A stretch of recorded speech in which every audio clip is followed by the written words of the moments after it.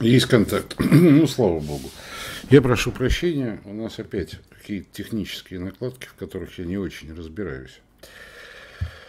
Ну что ж, добрый вечер. И я хотел, по крайней мере, начать разговор о психических защитах. Я – это психотерапевт Александр Данилин.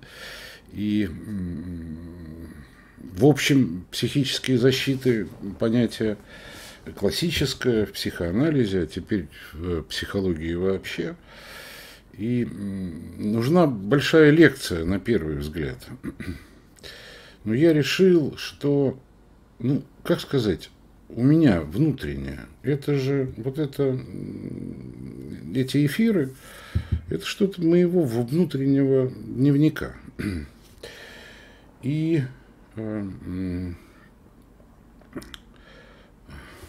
по моему ощущению, сейчас не очень время для лекций, зато сейчас какое-то очень время для того, чтобы разобраться в себе, в своих реакциях на общественные и политические события и вообще в том, что происходит.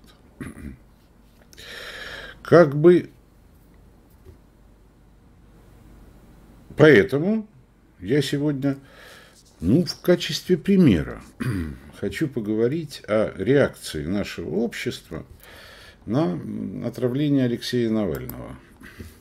Ну, как бы а, почему? Ну, наверное, потому, что мне, в общем, страшно. И я пытаюсь защищаться с помощью вторичной психической защиты, а, рационализировать свой страх. Ну, наверное, мне все равно менее страшно, чем может быть страшно молодым. А, понимаете, дело в том, что я врач ну, с каким ни на есть э, образованием, долго задевавшейся психиатрией, наркологию, э, как бы для меня с самого начала было очевидно, что то, что происходило, то, что происходит, то, что произошло, это, несомненно, отравление. Почему? Ну, если вы захотите, можем поговорить об этом отдельно, поскольку, ну, как бы, все в действительности элементарно. Ну, элементарно, потому что у каждого отравления есть своя клиника, и с самого начала по абсолютно доступным описаниям СМИ было понятно, что это отравление, по крайней мере, группы ингибиторов э, холинестеразы.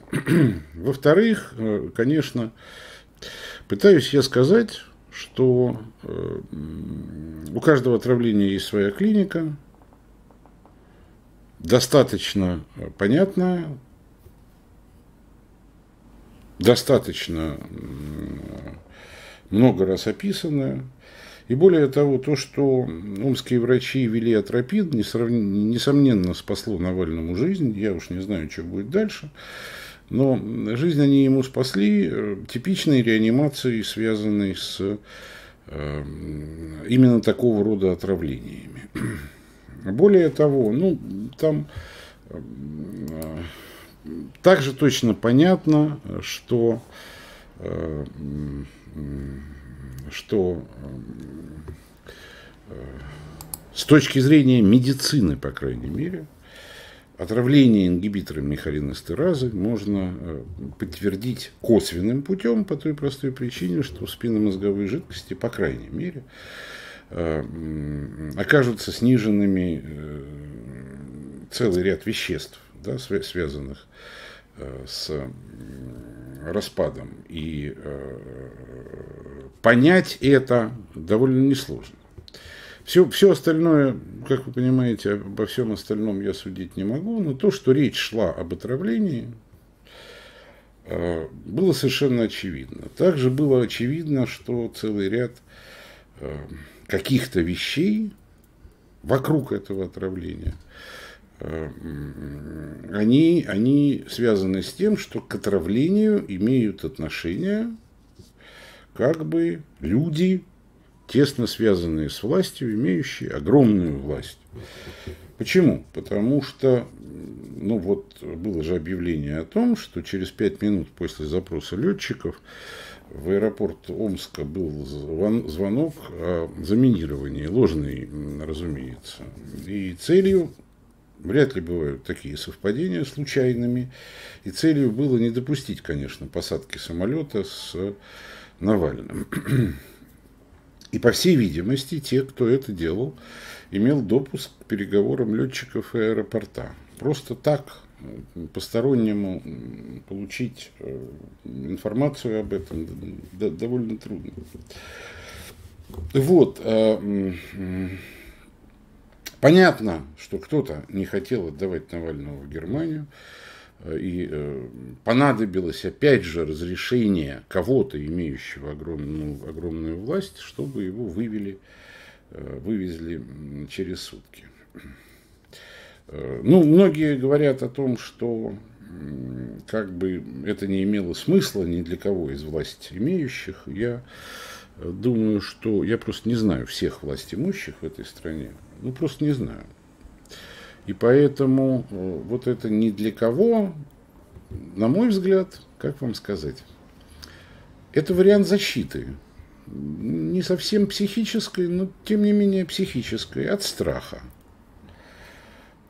Кто-то во власти сильно испугался событий в Белоруссии, поскольку в общем сами-то власть имущие отдают себе отчет в том, что они делают. И в общем это страшно. И в результате возникло ощущение, что Навальный это единственный достаточно известный человек, который может возглавить протесты по типу э, Хабаровска или Беларуси. Это потенциальный лидер. И в момент страха и истерики, и, в общем, совершенно непонятно, как реагировать на события в Беларуси, в общем, да, все довольно трудно, возникает целое море ассоциаций. И не исключено, что кто-то во власти э, решил таким образом начать решать проблему с будущими возможными выступлениями в России. Это все, потому что, ну, в общем, наверное, нужна отдельная тема, поскольку меня для меня ситуация выглядит так. Пусть это будет субъективным мнением. Ну, в общем, я представляю себе, как работают ингибиторы холинестеразы, как их лечат. И для меня никаких пока противоречий в заявлениях, скажем, Германии, в общем, нету. Я не уверен, что, правда, кроме косвенных, может, что можно обнаружить прямые следы Э, ингибиторов холинестеразы на протяжении длительного времени. Ну, кто знает. В общем, технологии развиваются, а я отстаю, старый я. Но то, что меня действительно пугает, это реакция, как, разумеется, авторитетных ведущих в СМИ, особенно э, телевидении, и э, точно так же меня пугает реакция огромного количества людей, с которыми я общаюсь, которых я знаю. Я не собираюсь отклоняться от темы, которую я назвал психические защиты. Правда. Как бы э, кто-то говорит прямо напрямую, ну нефига было вообще ему суваться против власти. Кто-то говорит, мне это не интересно, кто такой Навальный вообще? Выскочка.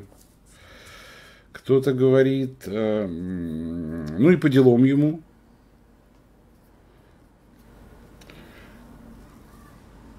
И это работа ровно того, что называется психическими защитами. То есть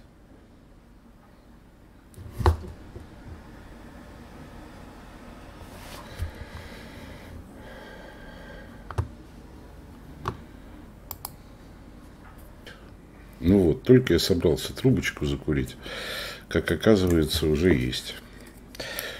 В общем, я не знаю, на чем я остановился. Э, и повторюсь, что беспокоит меня, в общем, реакция на эти события, поскольку их, их конечно, э, об их политической подоплеке можно только догадываться. А вы можете меня ругать за то, что я опять касаюсь политики. Понимаете, в чем дело? Политика на самом деле это всего лишь организация общества. А э, общество, то самое общество, это мы с вами и никто другой.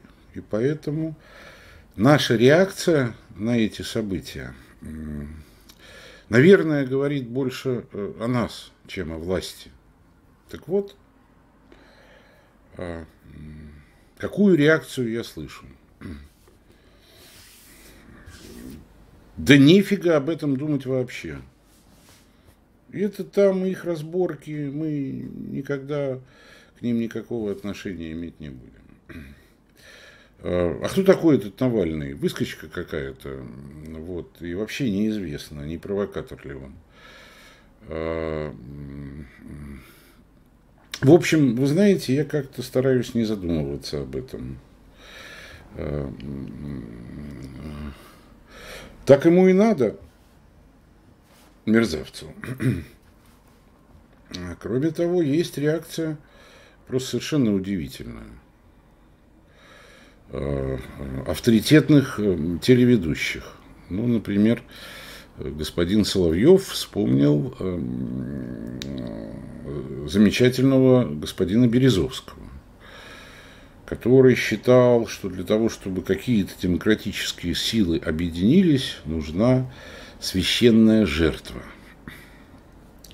Но вот уже вторая священная жертва принесена, а никаких, эм, никакого объединения демократических сил как не было видно, так и не видно. Потому что, ну, я не знаю, ну, наша либеральная общественность объединяться ни с кем не хочет. Каждый из лидеров сам по себе э, гениальный и, э, в общем, по-моему, сейчас, особенно в той ситуации, которая сложилась, откровенно трусит. Ни о каком объединении речи нет, и, в общем, при здравом размышлении и речи быть не могло, потому что на самом деле э, чем больше священных жертв, тем больше у оппозиции страха и психических защит. Господин Познер Э, выдал вообще умопомрачительную версию того, что единственный человек, которому это было выгодно, это сам Навальный. По той простой причине, что, ну я, конечно, по-своему пересказываю, я прошу прощения, да, э, это сам Навальный, потому что он в результате стал известен и даже популярен на Западе. А так там на него никто внимания не обращал. Ну, кроме, может быть, спецслужб. Как бы, а, что это такое? Ну, это страх, господа. Страх, э, да, потерять на старости лет э, вот эту самую свою программу на центральном телевидении, соответствующие доходы и вообще респектабельную жизнь.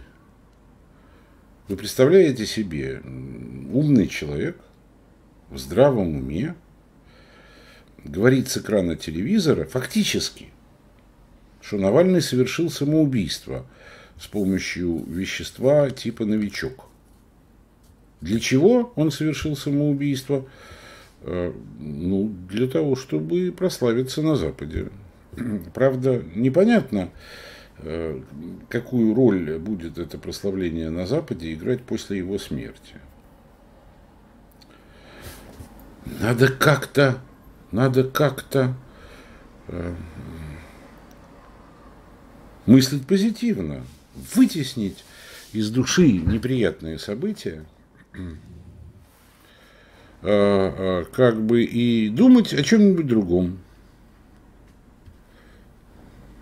Вон кто-то пишет у нас на форуме э, анекдот. Папа, папа, в какой концлагерь нас везут? Не знаю, сын, я политикой не интересуюсь. А, да, как-то так оно и э, происходит. И это и есть психическая защита. Как бы от чего? Да, от страха, от ужаса того, что э, нельзя говорить свободно. Это опасно. Тебя могут шлепнуть, как в 1937 году. И надо прославлять 1937 год и все с ним связанное, потому что как бы тебя же там не было, а теперь ты тут, в этом концлагере, исходя из этого анекдота. Как бы э, ну и, конечно, конечно, конечно, замечательная, просто замечательная для меня, ну, простите, господа, я э, психотерапевт. Для меня просто анекдотически смешная история с психической защитой Лукашенко, который решил подлезать и предоставил перехваченную запись. Пусть они там с ней разбираются – но смешно в этой записи, предоставленной Лукашенко, только одно. Как бы манера, я ведь больше ни о чем судить не могу. Правда, у меня же нет никаких данных. У меня есть только психотерапевтический опыт. Ну, извините. И этот опыт говорит, что та манера разговора, вы можете сами почитать или послушать даже, все уже опубликовано, в которой якобы лидеры Германии и Польши разговаривают друг с другом, она э, абсолютно соответствует манере разговора, ну, я не знаю, скорее советского политбюро, если вы э, читали, то ребята, они там были простые и общались друг с другом по-простому. А скорее всего, эта манера соответствует именно манера вести разговор. Я даже не про факты, которые там в этом разговоре якобы существуют, а сама манера вести разговор – это манера, видимо, видимо, это мое субъективное ощущение и мнение. Это стиль, принятый в общении э, э, господина Лукашенко и его ближайшего окружения. Они так разговаривают, и поэтому считают, что так разговаривают все лидеры всех стран друг с другом. Потому что э, э, иной манеры разговора, ну, они просто ей не владеют. И, и, и это заставляет, я даже не знаю, то ли смеяться, то ли плакать. как бы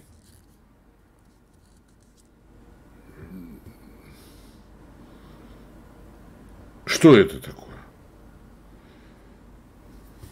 Ну, Лукашенко же должен показать свое влияние. Почему он должен показать свое влияние? Потому что он боится. И это, с моей точки зрения, фейковая запись является его лукашенковской психической защитой. Он боится. И ему нужна абсолютная поддержка России. А Россия, по крайней мере, ее властные структуры, боится сама. В результате возникает такая занавеска из лжи, сквозь которую пробиться можно только доверяя своим собственным чувствам. Пожалуйста, я как бы, да, э, я не говорю об отношении тех, кто слушает нашу программу.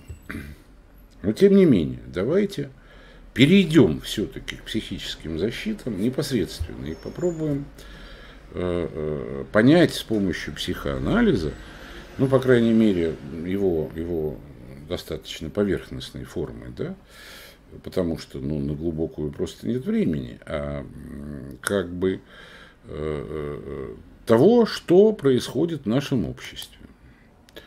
Вот есть понятие примитивных психических защит. То есть это то, как человек защищается от страха или от чувства вины до того, как он научился рационализировать, осознавать, мы говорим, да, э, свои собственные переживания, эмоции и свое положение в обществе. А главную форму психической защиты Фрейд когда-то назвал вытеснением. Теперь эм, ее принято называть, особенно у нас в психологии, отрицанием. Это полный отказ от осознания неприятной информации. Ты мне это не интересно, я об этом думать не хочу. И это политика, э, я не знаю, в концлагерь нас везут или не в концлагерь. Просто по списку психических защит. Диссоциация – это отделение себя от своих неприятных переживаний. Грубо говоря, э, все, я отказываюсь читать новости и занимаюсь, ну, я не знаю, своим тут вот делом, бизнесом, программированием. Моя хата с краю, я не хочу ничего знать. Эти события вот там, а я вот тут. Примитивная идеализация. Это восприятие некого другого человека как идеального и всемогущего. Как правило, это начальник, лидер, муж, жена. У нас все хорошо. Не может такого быть. Не было никакого э, повода у нашего у наших власть имущих структур, чтобы травить Навального. Не было. Почему? Ну, потому что они хорошие и заботятся о стране. И если их не будет, мы погибнем все. Нас захватит страшный, ужасный Запад, Америка. Помните, да, что кругом враги. Примитивная изоляция. Самый распространенный способ – защитное фантазирование. Ну, то есть я просто вместо того, чтобы задумываться о тех событиях, которые происходят вокруг меня, ухожу в свои фантазии, творчество или, или в пьянство, например. Это ведь тоже способ самоизоляции, да? Фиг ли тут думать, пол-литра надо выпить. А, а, а, проективная идентификация – это попытка навязать роль своего ума какому-нибудь другому, человеку. Идеальный объект для проективной идентификации – эти те самые великие спикеры с, в телевизоре, да, из ящика. Соловьев и Познер. Немножко посложнее – Расщепление эго. Я всегда об этом говорю, как о черно-белой психической защиты. То есть, любой человек, люди вокруг меня, во всей иерархии, снизу и до вождя, они делятся на э, плохих хороших. Если я о каком-то человеке думаю, что он хороший, или что я его одобряю, его действия, деятельность, то я думаю о нем только как о хорошем. Вот. И никаких других сторон его личности я замечать не хочу. Хотя понятно, что каждый человек, у каждого человека есть своя тень, есть свои страхи, есть свои э, есть своя мания величия, есть свое самолюбие и так далее, и так далее, и тому подобное. И наоборот, если я уж решил, что кто-то плох, например, Навальный, то я собираю все плохие качества в моем представлении и проецирую их на э, этого человека. И он у меня становится, как совершенно, становится только плохим, исключительно плохим. Иначе я мыслить не могу. Это белое, это черное. Это хорошее, это плохое. Почему не могу? Ну, не умею. Я не умею о себе думать. Не то, что о других людях, их поведении, их решениях и так далее, и так далее, и тому подобное. А, и, и я могу только оценивать. А оценки у меня, собственно, три. Ноль, кол и два. Два – это хорошо, кол – это плохо, а ноль – я к этому человеку никак не отношусь. То есть отрицание. а, а, а.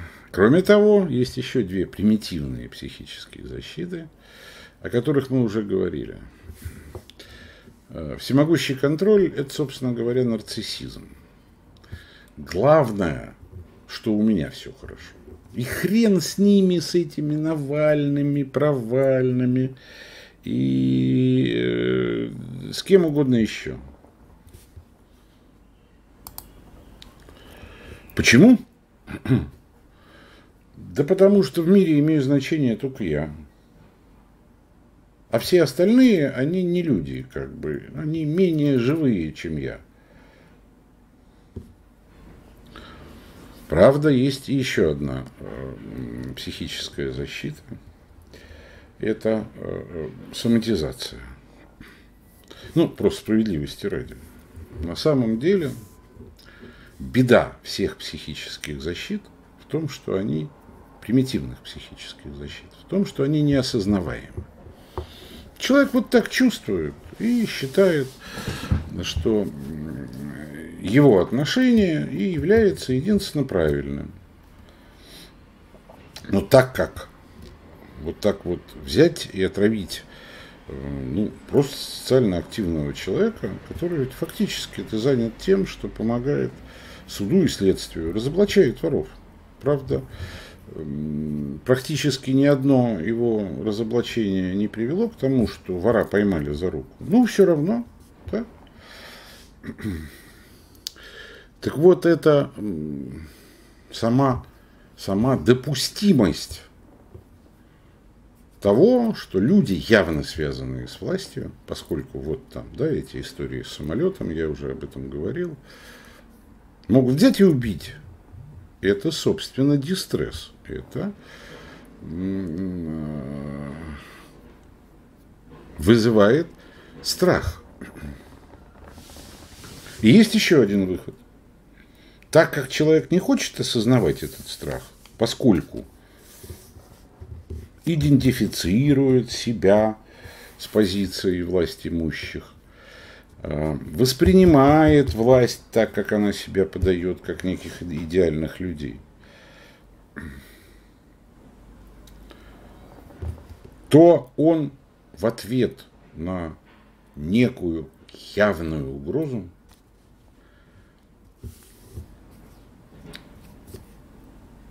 создает себе соматическую реакцию. Я вот боюсь и признаюсь в этом, поскольку, да, соматизации у меня тоже хватает. Как бы, э, но когда ты этого не осознаешь, человек начинает болеть. Он в ответ на психологически неосознанный стресс, стресс выдает то, что правильно называется в психиатрии конверсией. То есть вытесняет это свое переживание на некий орган и начинает искать медицинской помощи. Почему? Ну, потому что это оправдывает его бессилие по отношению к своему собственному страху. Ну вот, если говорить о примитивных или первичных психических защитах, то я перечислил их все.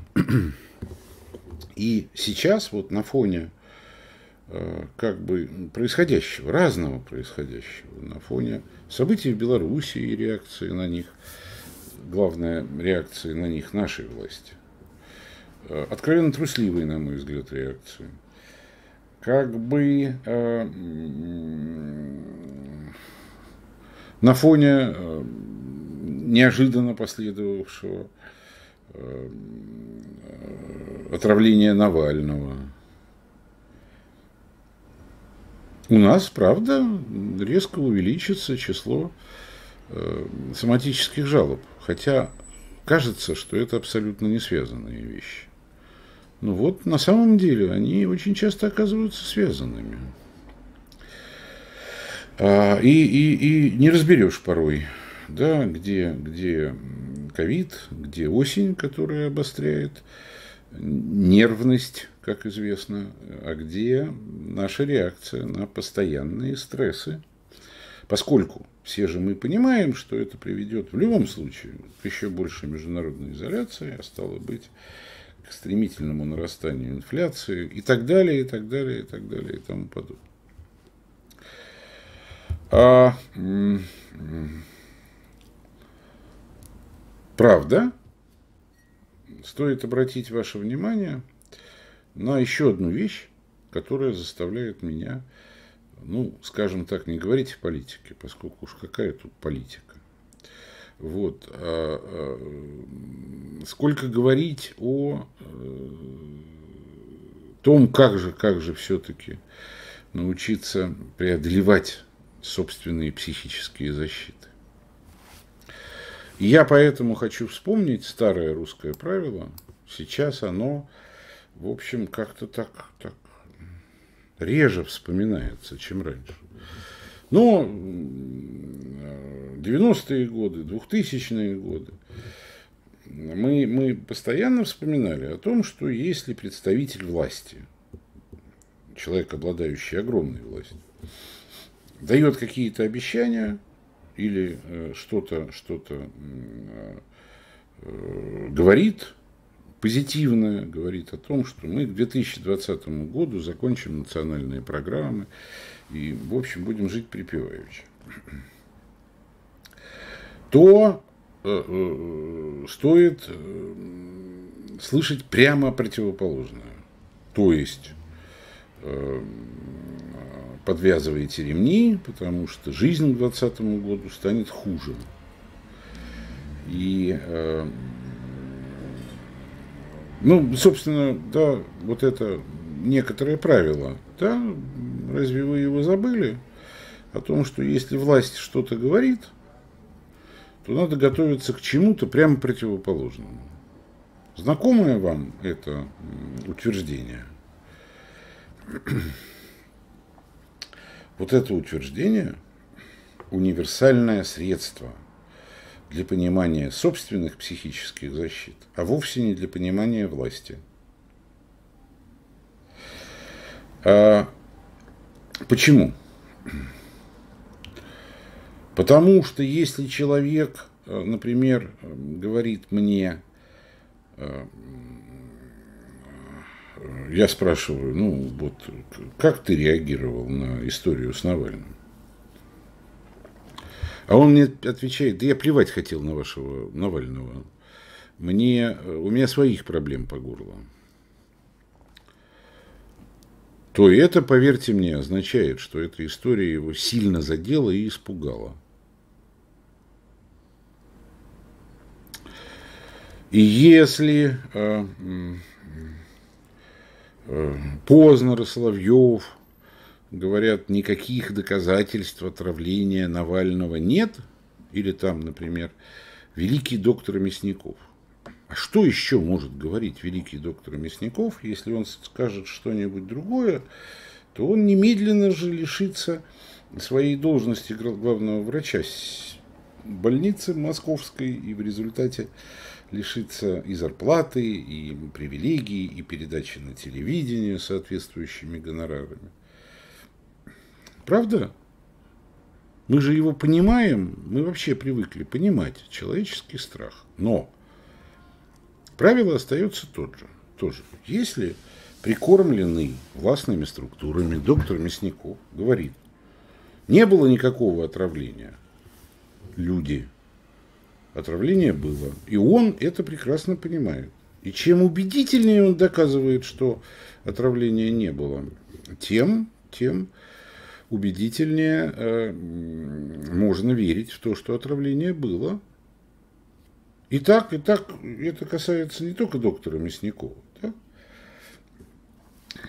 Грубо говоря, если Познер на голубом глазу говорит, что Навальный совершил с помощью э, сложного синтетического бинарного вещества э, самоубийство, то точно можно считать, что это была попытка убийства.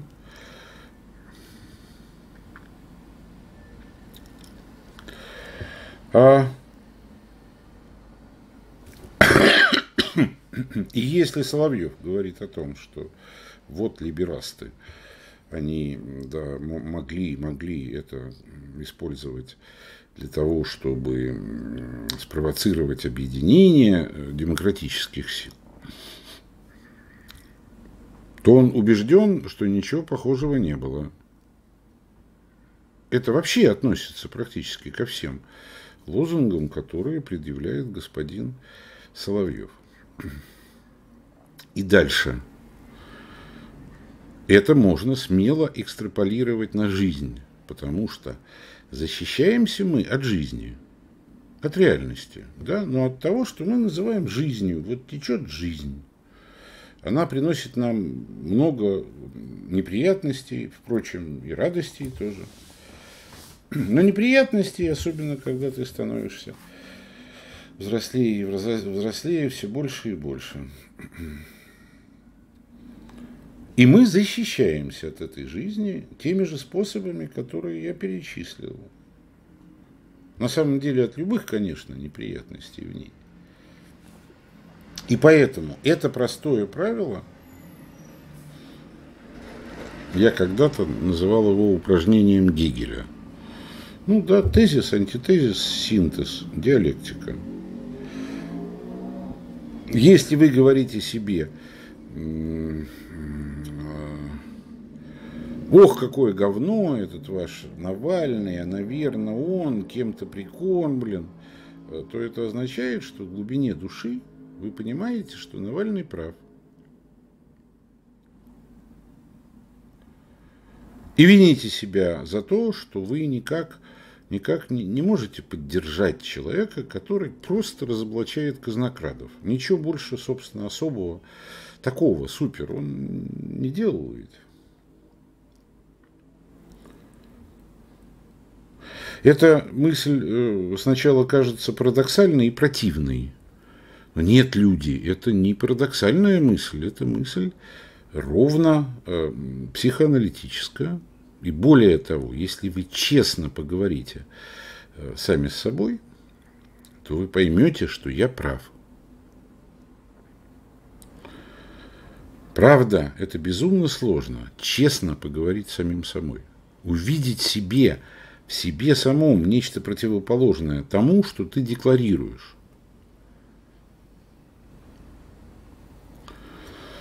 И это касается не только декларации правительства, боже упаси, или там власть имущих, или тех, кто на экране.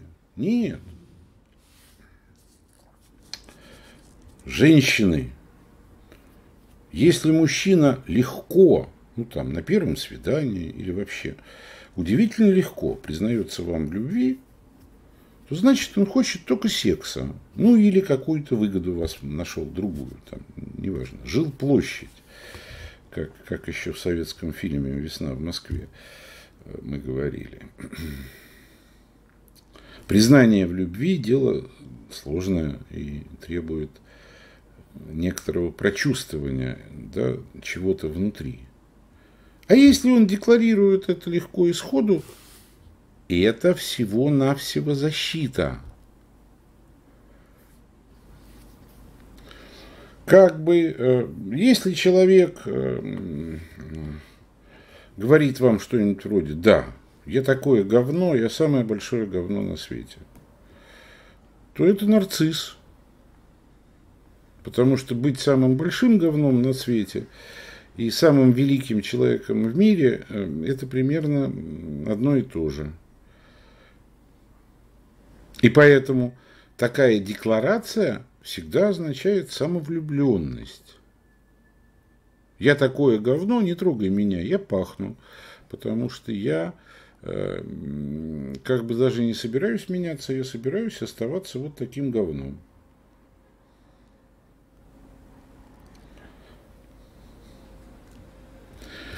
Это можно применить и по отношению к человеческому общению, потому что любая эмоциональная декларация, я подчеркиваю декларация, да, ведь понятно, что выступление политика по телевидению это не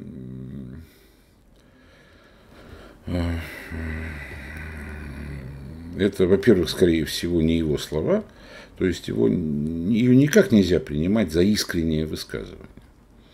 Это декларация. Так вот, любые декларации, не обязательно ложь, они просто всегда содержат в себе противоположность. И если вы это будете понимать, то вам легче будет понять, где человек говорит не то чтобы не искренне, где он защищается от своего собственного чувства вины или страха. А где он искренне высказывает э, свои чувства. Декларации относительно просты. Да, я в любой момент могу сказать, я вас люблю. Ну, это же э, ложь. Потому что мало того, что я вас не знаю, я же не могу любить каждого из вас. Но я это декларирую, а вам будет приятно. Это, конечно, не значит, что я вас не люблю. Но, в общем, все равно, правда? Любые мои э, монологи на Ютубе или на радио, они все-таки требуют какого-то труда и какой-то, ну, какой-то аналитической мысли. И в них есть далеко не только любовное удовольствие. Правда, есть очень много моей боли, моих страхов, моих, моей неуверенности в себе. Как бы э, помните об этом. Существуют, конечно, э, понятия доверия и недоверия. Но вся проблема в том, что доверять нужно учиться. Это такая наука, очень непростая. Почему? Потому что она основана на чувствовании другого человека. И самое главное, может быть, сначала научиться чувствовать себя – Потому что когда вы говорите себе,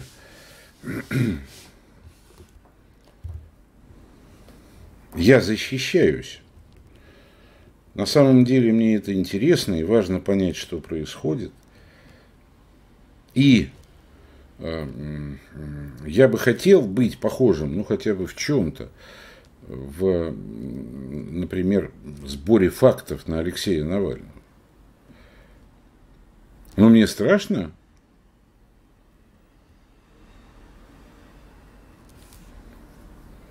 Как только вы начинаете осознавать эти чувства в себе, вы становитесь способны осознавать эти чувства в другом человеке. Почувствовать, что декларируя что-то, он защищается – это, как сказать, это когда он не врет, а когда он говорит, как с его точки зрения говорить правильно. Когда он что-то декларирует, он при этом скрывает свои подлинные эмоции. И очень часто все достаточно просто. Это его внутреннее состояние прямо противоположно его э, произнесенным им словам. Это тот метод, который я могу вам предложить за час такого разговора. При этом я э, совершенно не исключаю и, и э, из, этого, из этого списка и Навального. Я имею в виду, что да, да, конечно, в каждом, в каждом таком расследовании есть некоторая зависть человека к тем э, людям, которые имеют власть и могут э, распоряжаться миллионами и его собственной судьбой. Есть она? Есть. Она есть.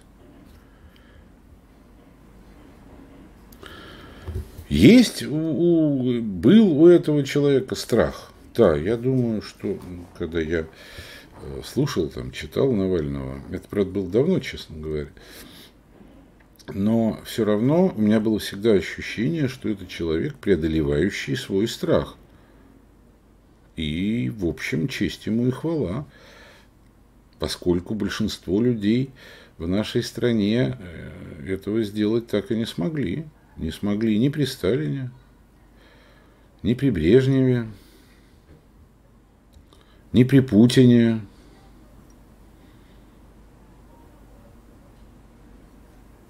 мы все время защищаемся от страха. С чего все начинается? Ну, начинается просто с осознания этого страха и тех форм поведения, которые вызваны эм, перечисленными мной формами э, психической защиты. Когда ты начинаешь это понимать, какая-то внутренняя преграда такая спадает, какая-то корка слезает с души. Почему? Ну, потому что ты, по крайней мере, пусть ты боишься, но ты хоть честен самим собой.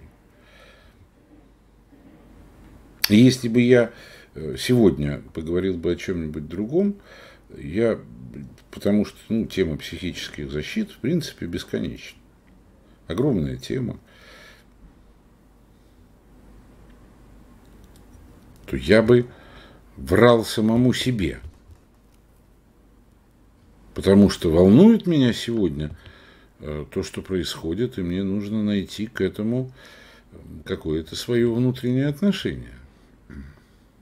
И я вместе с вами пытаюсь его искать. Самое главное – почувствовать эту противоположность в себе и в другом. доверять можно либо этому противоположному чувству,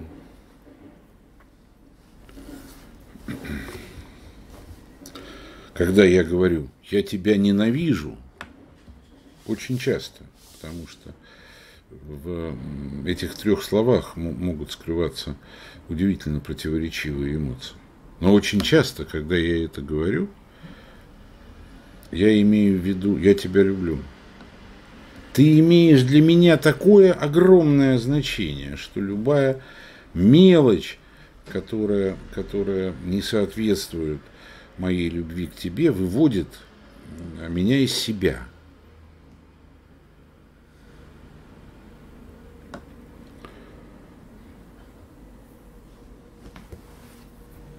Обычно, правда?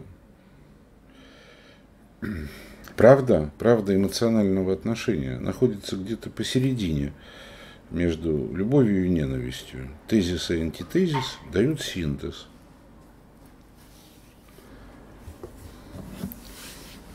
Учитесь видеть противоположную сторону в декларациях собственных детей, э, любимых, коллег – Э, правителей,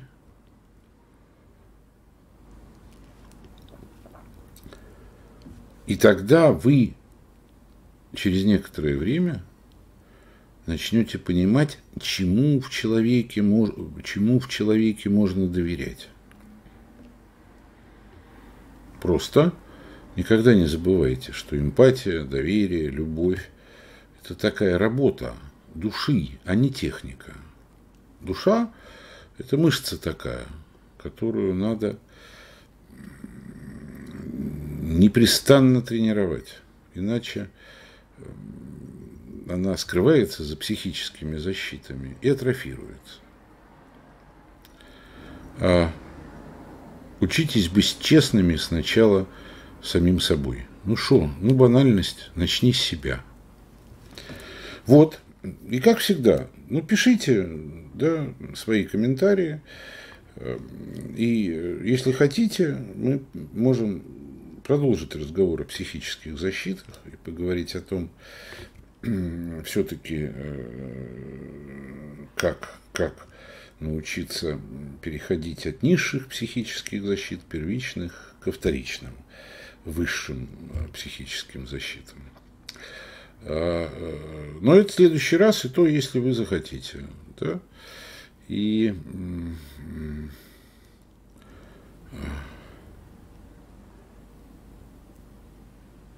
Учитесь видеть во всем вторую сторону. Что-то я стал повторяться. Спокойной ночи и удачи. Простите за опять технические неполадки. Ну, что делать? Техника – вещь непредсказуемая. Спокойной ночи.